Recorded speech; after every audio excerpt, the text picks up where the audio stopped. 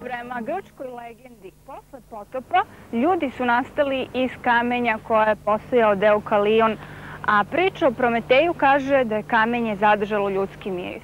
Ovako verovanja postoje i kod velikih civilizacija Centralne Amerike, kod Maja i Inka, zatim kod kavkarskih naroda i Semita. U hrišćanstvu se također pisalo o živom kamenu, pa oto da prisustvo kamenog oltara u hrišćanskim crkvama. Kamenje je neuništiva realnost iz koje proističe čovečanstvo.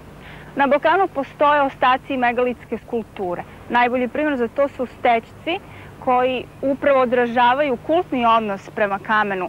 Zatim, kroz idole iz Lepenskog vira, čovekoliko kamenje iz 6000. godine pre nove ere, pa zatim kroz antropomorfne skulpture progovara univerzalna drama stvaranja. Kroz kamenje progovara ljudski lik. Jung je tvrdio da su ljudi nekada verovali kako anima mundi, duša sveta, spava u, da je zatvorena u materiji. Za Miju Miuškovića kamen je boravište nečeg drugog i on to drugo oslobođa kroz skulpturu.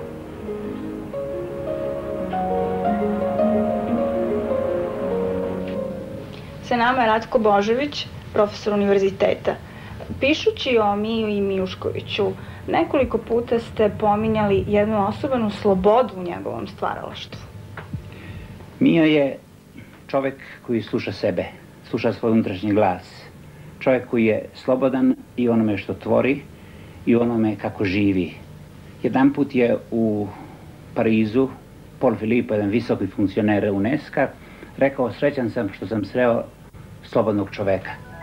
Da li je Mio Mišković oslobođen i od nekih estetika, od nekih modela? E, da li on imitira nečije stvaralaštvo?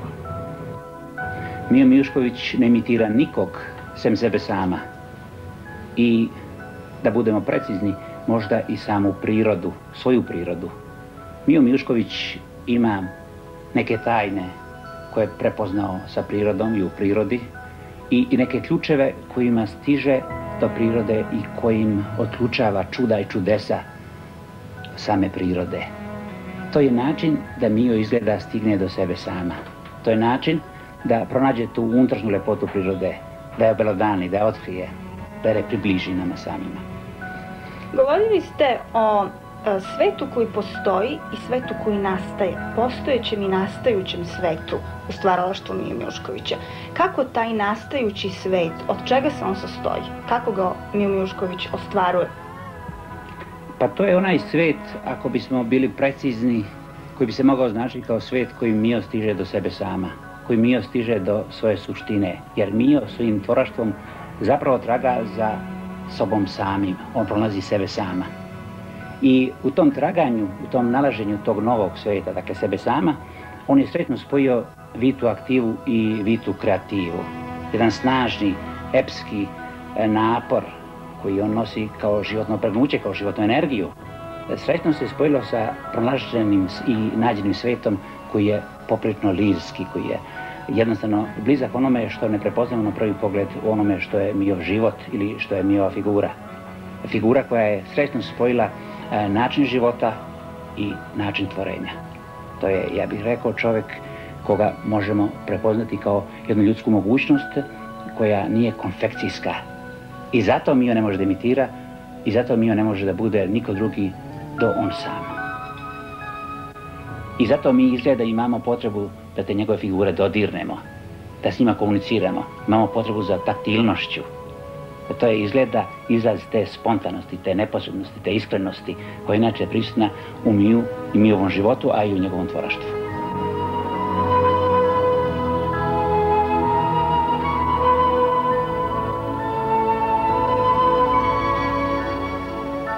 Nalazimo se na Petrovoj glavici.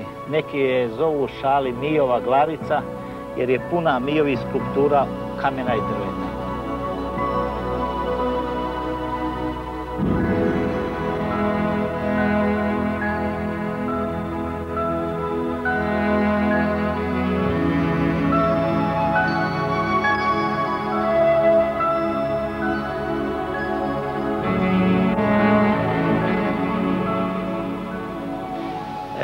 Mio, recite, kad ste prvi put osjetili svoju ljubav, svoju privreženost kamenu i drvetu, oblicima u kamenu i drvetu? Pa svaki čovjek koji je rođen u ovim krajima fasciniran je onim što ga okružuje. Znači ja iz najranijeg djetinstva počeo sam da zagledujem u stijene, šume, prirode, rijeke, ali to još nije bilo artikulisano u onom obliku koji je nastao kasnije. Kada ste prvi put te oblike počeli stvarno da istražujete, da ih pretvarate u svoje snove? Pa po prvi put možda tada kada sam shvatio da u službi u kojoj radim ne mogu da izrazim sebe, niti da doprinesem i napravim ono što ja istinski ženim. Tako se desilo da kad sam to shvatio, onda sam se nekako ovaj, nekako sam došao ovdje pa sam želio čitavu ovu glavicu da oblikujem. Međutim, i tu sam bio spriječen i konačno shvatio sam, povukao se u ovaj najuži krug i počeo da radim ono što isključivo zavisi od mene samoga. Tu me niko nije mogao spriječiti. Jedan od e, teoretičara rekao da Mio pronalazi samog sebe u kamenu i drvetu. Pa, ja mislim da je u pravu jer svaki čovjek traži smisao svog postojanja i treba, ako mu, možda su sve iluzije, ali ako te oduzmu iluzije, oduzeli su ti sve. Vaša skulptura je modernog oblika, savremenog oblika, liči na oblike Herimura. Vi u svom obrazovanju niste imali prilike da izučavate najmoderniju skulpturu Eh, umetnost, ali na neki način dostigli ste do tih vrhova. Kako to tumačite? Pa ja sam spontano došao ovaj, do takvog načina oblikovanja. Međutim, u početku nijesam znao šta to znači, a kasnije sam puno putova, skoro sve evropske kulturne centre sam obišao i shvatio sam što sam god više gledao da sam više u pravu. Jer čovjek može biti nešto samo ako se na svoj način i svoje ideje izražava. Kako prenalazite i prepoznajete ono što ćete dobiti u svom konačnom oblikovanju sna? Ja jednostavno se otisnem neđe, bilo gdje i nikada sebe ne ograničim, ostaću ovoliko, onoliko. I onda sve što se dešava oko mene posmatram možda nekome izgledam tromo, sporo, ali ja to intenzivno ovaj doživljavam. I onda u jednom momentu čovjek počne da sanja, zamišlja razne oblike, nešto što je nekada želio da napravi, pa onda ovdje bi se moglo ovo napraviti ovdje, ono, donesem neki materijal i zamišljam da ga odmah radi. Međutim, ostavim ga i recimo posle 3, 4, 5 i 6 godina odjedno nisam, ne znam šta me ponovo privuče i jednostavno igram se sa materijalom o kome sam sanjao posmatrajući ga kada sam išao u prirodu.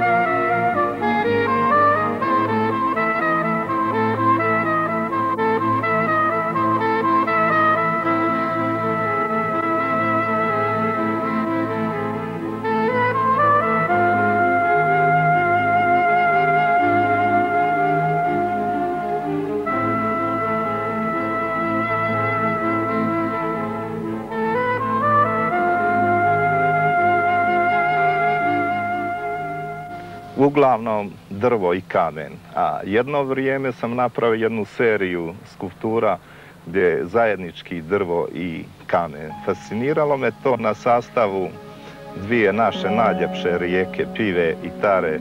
Nalazila se jedna, jedno čudno uzvišenje i povremeno sam nilazio na tragove svijeća. Nekada je bilo podvig doći u te krajeve, sada nije. Jer... I onda nastalo je raščišćavanje tog brda i otkriveni su temelji crkve Šćepanice. Pri dolasku Turaka u naše krajeve ona je bila zapanjena. I tamo postoje razne legende da je tu blago Hercega Šćepana. I šta se desilo? Sada vjetrovi niz drinu ili pivom i tarom nanosili su razno semenje i za jedno 400 godina iz Maltera, iz Zidina, izrastao je novi život. I sve sam ja razmišljao na koji način da uhvatim dio toga što se tu događalo. I to je nekako bila borba drveta i kamena sa svim ožiljcima vremena kroz koje je ta borba trajala onda sam tražio jedan sklad između drveta i kamena i konačno to ima jedno 10-15 tih skulptura. Više nijesam mogao to nikada da ponovim. To su stvari skulpture zagrljaj drveta i kamena. Da, da.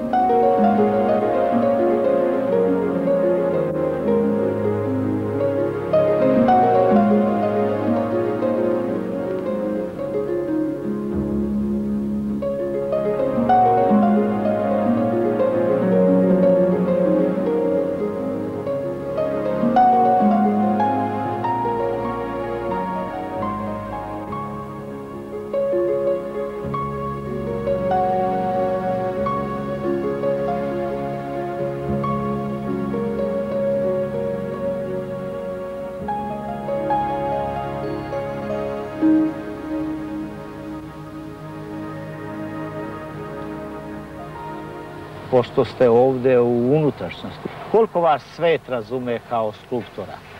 Pa, svet vaše okoline? Pa, ja mislim, ja praktično ovde nemam dodira niski. A jedino razumijevanje koje sam tražio bilo je da me ostave na miru i to je najveći stepen razumijevanja. Bio sam često uznemiravan i konačno, eto tako, ostao sam evo, kao što vidim. A svet vas je prihvatio, gdje ste sve izlagali? Pa izlagao sam, ovaj, izlagao sam u Italiji, Francuskoj, u Parizu, Nici, Kanu, u Rimu, na Sardini, onda neke značajnije kolektivne izložbe. A mene je najviše obradovalo posljednji put u Parizu, kada sam od nekih veoma značajnih ljudi, ljudi koji su za poštovanje, koji osjećaju ovaj, koji osjećaju dobio podršku u smislu da im se, kao što vi malo prije rekoste, da im se puno dopalo i da je to, ovaj, kažu, vrlo modern način izražavanja i da je to najmodernija skulptura. Ja sam često ovaj posmatrao ljude koji dođu na izložbu koji ne znaju ko je autor, pa sam njihovo neskriveno ovaj reagovanje ovaj proučavao. Mirko Kovač, naš književnik, pišući o vama, kaže da vas je priroda obdarila da je podjednako razumete kao i ljude. Posmatno vaše skulpture, njih ima veliki broj u drvetu. Kako otkrivate oblike u drvetu? Pa recimo, ovaj, tamo, kako da kažem, gdje su te prirodne laboratorije, recimo na planini Orjenu, poznato je da u mjestu Crkvicama pada najviše kiše u Evropi.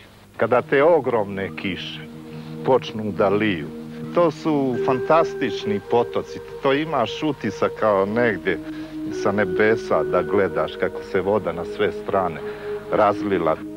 Takvi mlazevi vode sve živo zemlju istjera i sve, međutim tamo ima i šume. I onda sam posmade istjera nju dok je bila mlada, pa je ona preskočila kraj korijena na drugu stranu, na treću i tako na, na vrh 15 metara od mjesta gdje se prvi put drvo začelo, počelo je snažno koga više nikakva kiša, ni gromovi, ni vjetar, ništa nije moglo. E mene je fascinirala ta snaga, ta borba za život, za opstanak. Ne bukvalno da preneseš taj oblik, nego na neki način da uhvatiš ljepotu borbe za život.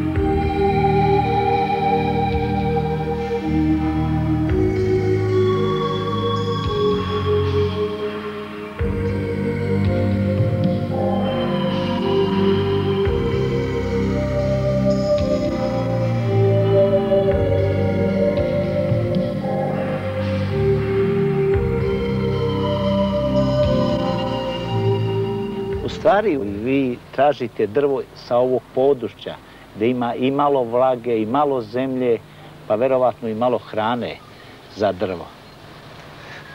Da, to se nešto sliča, slično i ljudima u životu događa. Recimo, potpuno različite oblike pravi recimo sor, jedna dormitora, različite sa primorja, različite negdje u ravničarskom dijelu. Znači, ja ne pravim kao što neki govore gotove oblike, nego me priroda inspiriše da pravim oblike koje ja doživim i osjetim.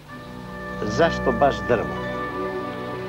Drvo ima nekakvu iskonsku ljepotu i draž. Recimo, brijest ispod Ostročkog manastira koji još sveti Vasilij Ostročki upamtio, pa čak kad je Omer Paša Latas išao na Crnu goru, postoji neka priča. I onda su tu razne granate, razne paljevine, razne borbe. Ono se nekako uvijek obnavljalo, opiralo i u tom opiralu stvaralo nekako svoju ljepotu življenja. I zato te to drvo opčinjava. I recimo i maslina. Tamo ima jedna divna uvala, to je Valdanos. To još Herodot pominje taj čuveni masne. Pa vidite, maslina 2000 godina živi, opire se, raste. To je vrlo interesantno.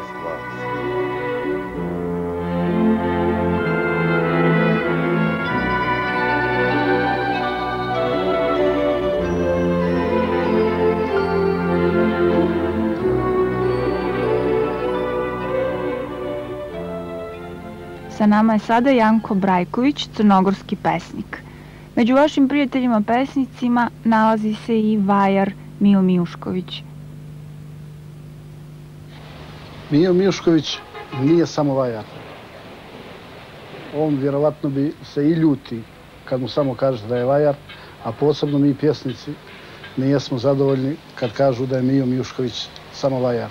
Mio Mijušković je i pjesnik i to jednim svojim velikim dijelom. Mio Mijušković je najveći, najdraži, e, najoriginalniji u svojoj samoći. A samoća je ono što je danas najjače u prirodi, samoća je dio prirode i jedno bez drugog se ne mogu zamisliti.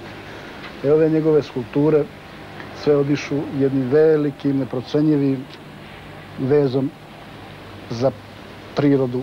Mijo Mijušković je dio prirode, a sa tim i dio nas svih i dio nas samih. Likovni kritičar Vesna Mališić je rekla Mio je vajar i vjetar. Vajar sasvim je jasno zbog čega, a vjetar zato što kad god se sretemo sa Mijom, kad god sretemo njegovo dijelo, njegove skulpture, bilo šta što on dohvati svojom rukom, to nas razgali kao onaj blagi povjetarac kojega svaki, kojega svaki od nas očekuje željno, bilo to je da je zavičajni, bilo da to je da je iz nekog predjela našeg kojeg sanjamo. Nikad mi nije bilo jasno odakle je tolika moć i prirode i mija da osjete jedno drugog. I priroda kad je najsurovija, ona je i tada i najblaža, rečeno, najljepša, najoriginalnija, a i mija u svojim skulpturama, kad nam se čini da to nešto čvrsto, jako, čak da je oporo u te, te njegove figure, da su opore, one su tada najbliže prirodi i najviše nas nježnošću dotaknu.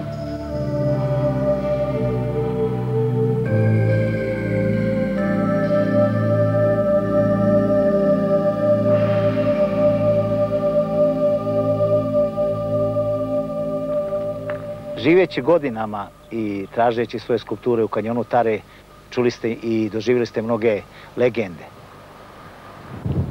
Prosto je nevjerovatno ovdje gdje smo sada, došli smo vrlo brzo putem od Žabljak.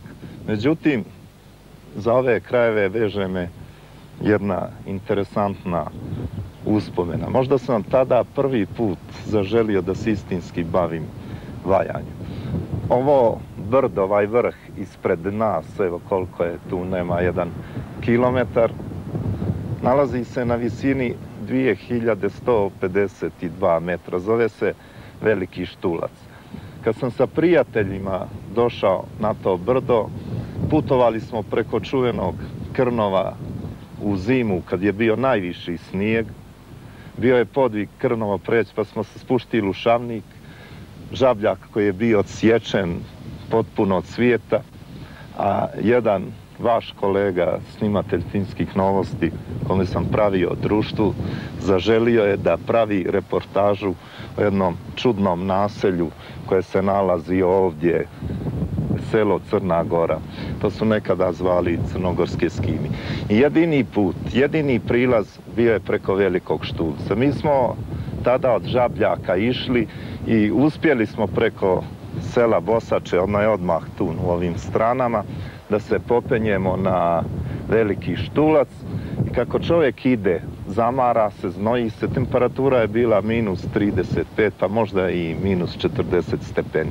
Malo lijevo ispod nas, vjetar je sve opuvao i tuda su se neki kiljani kameni nalazili, tu su bili oznake ili grobovi ljudi koji su išli kao mi i koji je umor savlada, stali tu i dovoljno recimo minut, dva vruć da se smrzneš. Od jedan put sa Bobotovog kuka, odnosno Čirove pećine najvišeg vrha Durmitora, jedna ogromna bijela gromada se okinula, to je snijeg bio i kako je vjetar bio veoma jak, to je kao neki bijeli čaršak putova. Okrenuo sam se lijevo i desno i na samom vrhu vjetar je sve bio ponio. I odjednom jedan divan bor, bor krivaj. On je prkosio svim tim surovim uslovima i podsjeća na jednu veličanstvenu borbu. Ja sam zaželio u jednom momentu to drvo da iščupam, da vidim kako je, međutim žao mi ga je bilo, puštio sam ga da raste naravno, a puno sam posle toga razmišljao kako da se bavim stvarima, jeli, da na neki način prikažeš život, borbu drveta u ovim uslovima. To su možda nekad početci mog rada na skulpturi, a prosto je nevjerovatno ovo gdje sada živimo, to je ovo što sad radim, kamen. Eto, to je ta mala razdanja. Vaš rad, vaš smisao stvaranja je u... Da, ovaj, otari se ne može pričati riječima. A ja sam pokušao da Taru predstavim na mene svojstven način. Ja zapravo sada radim, evo već peta godina, ciklus iz rijeke Tare.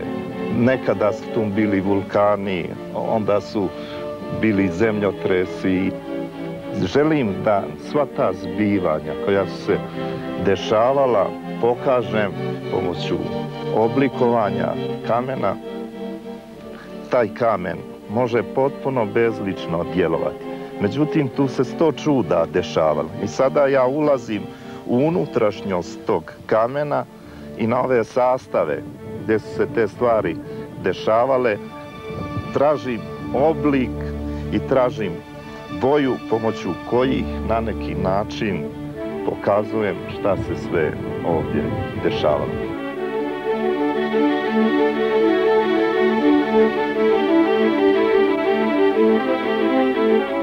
Zapravo imam ideju da uzmem uzorke stijena i da svaki uzorak bude različit, da bude različit oblik i različita boja. A čitava je rijeka različita u svakom pogledu.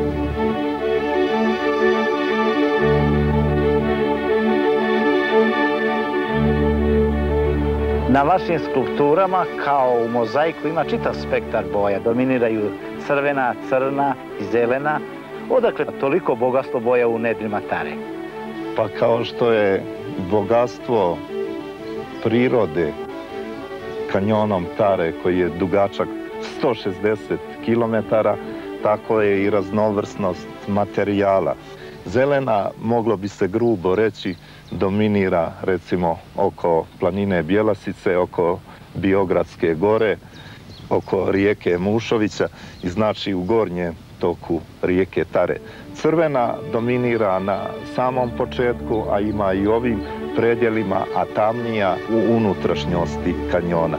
Međutim, između ove tri osnovne boje ima bezbroj nijansi, tako da im se praktično broja ne zna.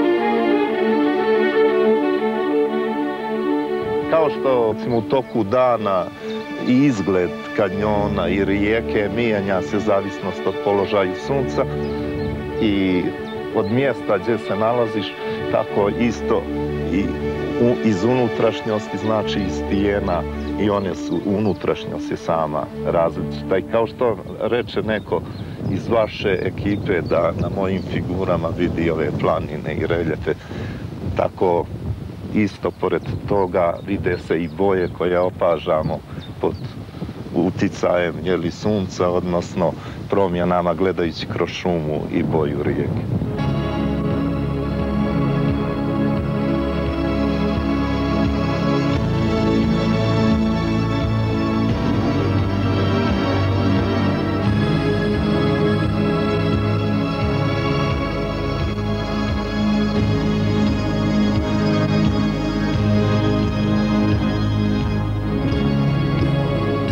Kovač, književnik, napisao je uvodni tekst za monografiju o Miji Mijuškoviću. Mijo Mijušković je monah zavetovan skulptorskom redu i posvećen iznalaženju one forme koja bi mu pružila potpunu slobodu kao što je slobodan njegov život. On je pod ugovorom s prirodom, ali obavezan samo pred Bogom koji ga je obdario. Kako dugo godina poznajemo ovog jedinstvenog zaređenika, i kao dete jednostavnog primovca onog sakramentuma koji se sastoji od dva bitna učinka, materije i forme, to mi se čini da imam prava na zapis o umetniku čija je vrlina jednostavnost, koja isključuje svaku zlobu i dvoličnost, a ističe namere, iskrenost govora i čestitost srca.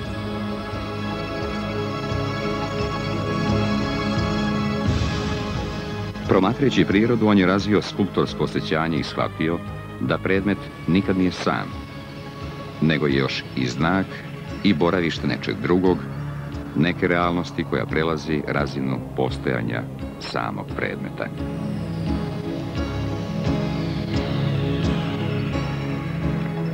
Sada Mio razvija jednu novu obradu kremena, za koji se inače veruje da dolazi ozgo, zadržavajući strukturu i boju tih nebeskih otpadnika, ostavljajući im pravo da sami sebe izdržavaju, a oblikujući od tih aerolita, od tih mrtvih komada raspadnute Božje arhitekture, čitavu jednu posebnu vrstu nebeskih predstavnika ovde na zemlji. Posrnuli meteoriti nalaze svoje pesnike. Mil je jedan od njih. On u kremenu razvija svoju sonatu u Božju slavu.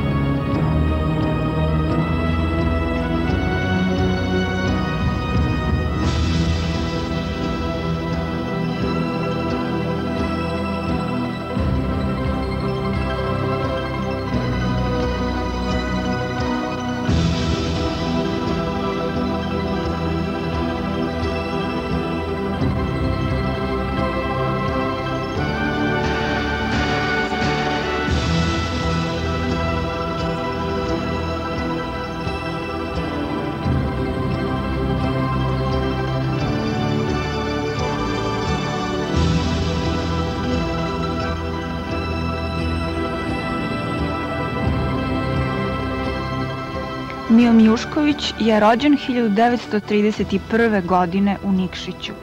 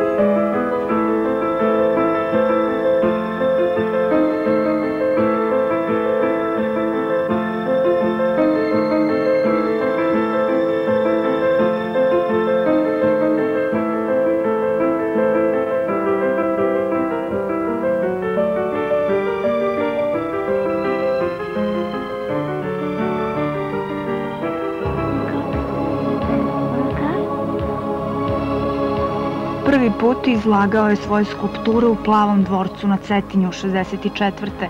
Zatim u Titogradu, Nikšiću, Dubrovniku, Herceg Novom, Beogradu, Rimu, Parizu, Lermonferanu, Lionu, Nici, Kanu, Remsu.